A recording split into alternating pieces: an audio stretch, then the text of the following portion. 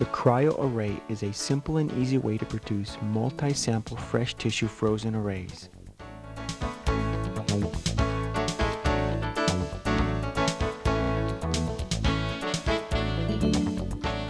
The needle is a disposable 2mm derm needle. A stylet was created to assist in removing the tissue from the needle. A mold is used to form the base of the cryo array. Simply pour the OCT compound into the mold, taking care not to force air bubbles into it. Air bubbles will cause unwanted air pockets in the OCT array.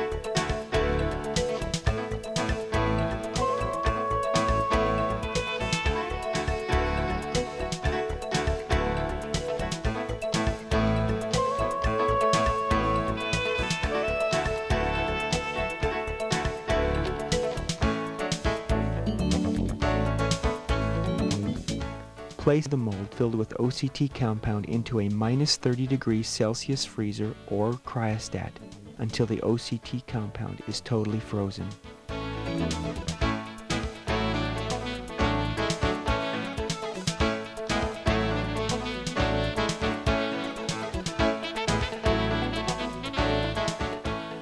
Once the OCT is solid, you can now pull it apart from mold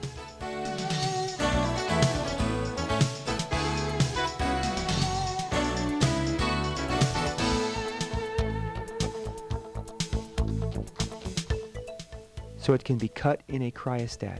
A metal chuck needs to be attached to the array mold.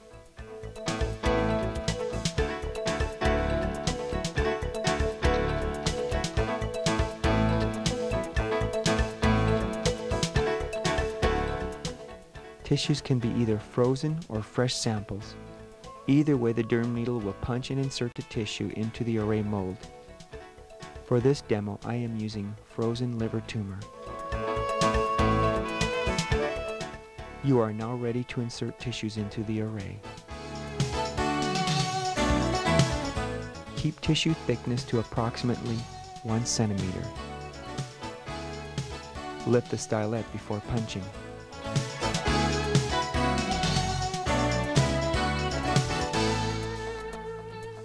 To insert, simply set the needle over the proper hole and push the stylet down. The tissue will fill the designated hole.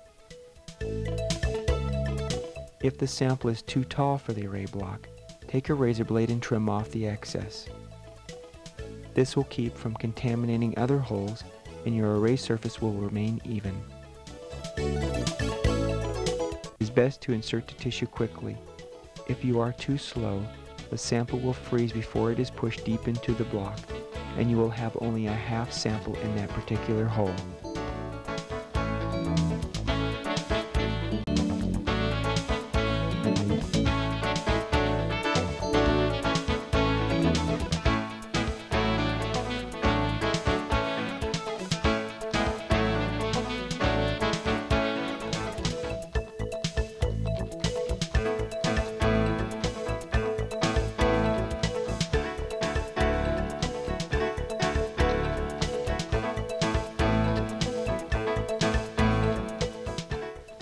Once the array block is complete, you will need to set the punches.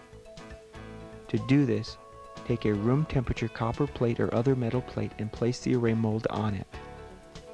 Remember not to tip the array over when doing this. The punches are loose and will fall out of their holes. The room temperature metal plate will cause the OCT to melt. This will take approximately 10 to 20 seconds.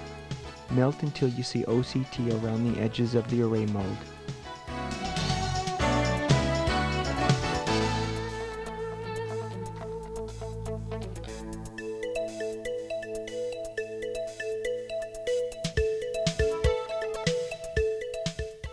Place the array and metal plate into a freezer or cryostat and allow the plate to freeze to the array.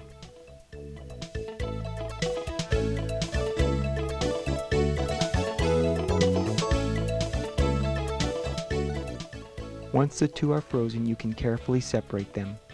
The array will now have a flat surface and the punches will be set into the OCT mold.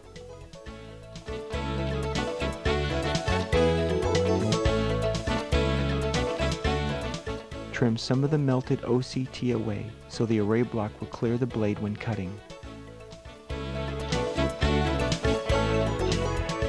Section the array block as you would any frozen tissue. During trimming, you may find it necessary to melt the array block again to set the punches. This is common practice, and you will have to melt and set the punches several times as you go deeper into the array block.